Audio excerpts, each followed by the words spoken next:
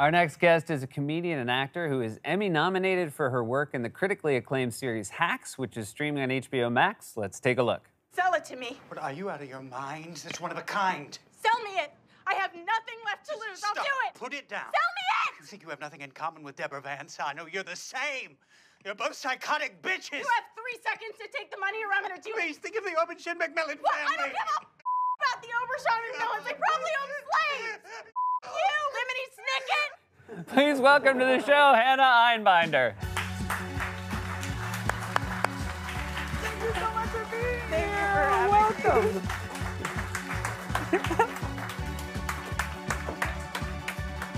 Hi. Hi, I'm so happy you're here. Oh my God, Congratulations on your wonderful show. And I feel a little bad because the show is, you know, it's about stand up comedy, it's about how exciting it is to be in front of an audience. And I do wish you could have been here on a night where we had more people. Oh no, I 10, 10 guys in the dark is home for me.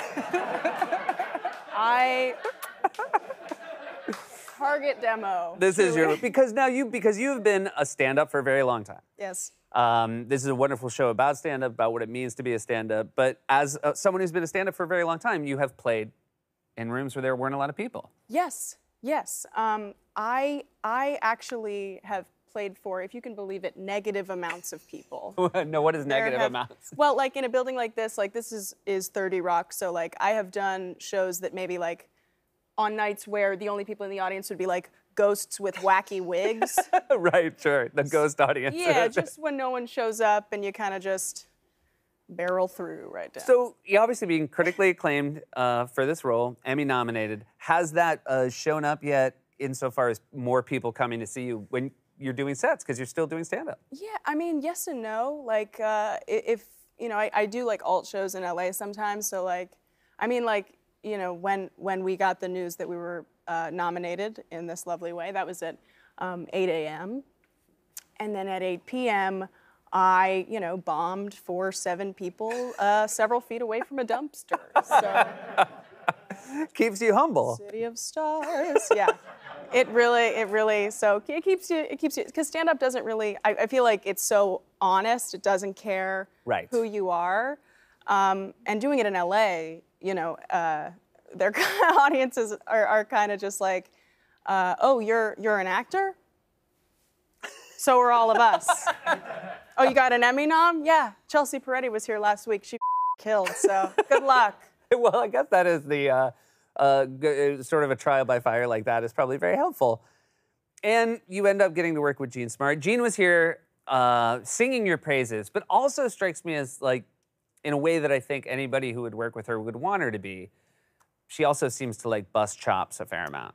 Oh yeah, yeah. Um, I invited her to one of my one of my shows in LA, and I was telling her about the show, and I was saying, you know, um, Natalie Palamides and Courtney Pauroso, who are clowns, um, which for those who don't know, clowning is a form of performance art. It's a comedic uh, uh, performance um, art. Uh, good, we got it all. Just want to get You're it out. Gonna, you're not going to get heat from the clown community. I think you laid it out uh, with a lot of integrity. Sorry, Yeah. they're very nice. Um, but they, I said, you know, they're they're opening for me uh, tonight. We, I have two clowns opening for me, and she said, oh, great, so three on the bill. Gina and I have this awesome little joke where she's mean to me and I'm in love with her. Do you? I mean, has it been since you met all these people and you're so close with these people now? Have it? Have they? I mean, did she actually come when you told her clowns were opening for you, or did she? Uh, yeah, I mean, she she keeps keeps a low profile in the back, um, but she's she's so supportive, and and all the cast really like we all talk all the time, and we have a little group chat, That's great. and we're checking in. It's really lovely. Has anything? Uh, this was also, it should be noted, which is, um, you know, hard to believe because you're so good and so natural in this. But this is kind of your first acting job, and do you, I mean, has it changed a lot of stuff other than the fact that you have your Emmy nomination?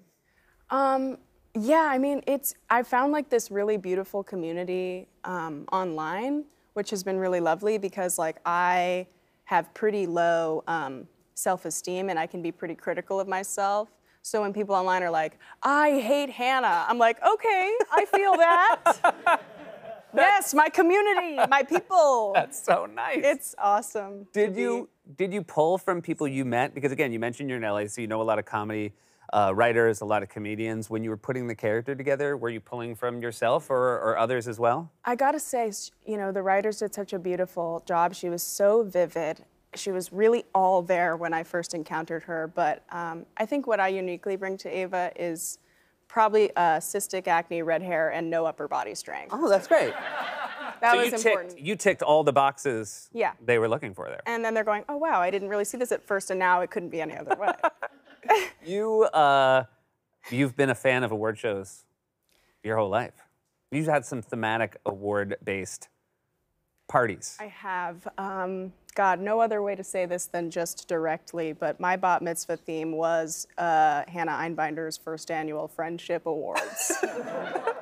and I. I did, I did, I did give out awards to my friends, Gotcha.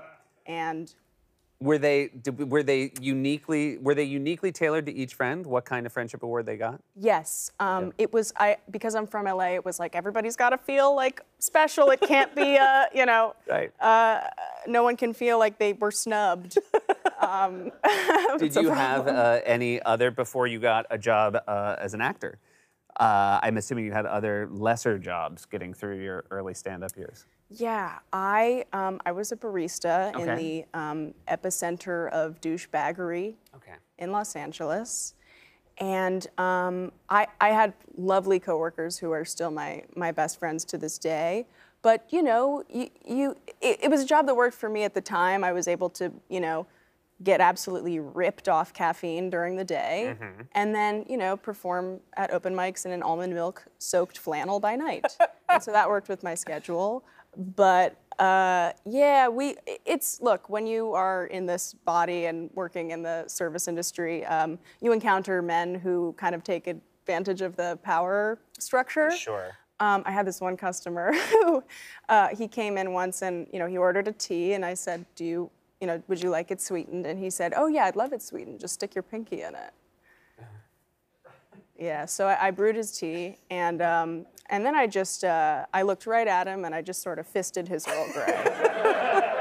That's all right. I think that's very, very appropriate. hey, congratulations on the show, and thanks so much for being here. Thank you. Lovely to meet you. Oh my God, likewise. Hacks is streaming on HBO Max.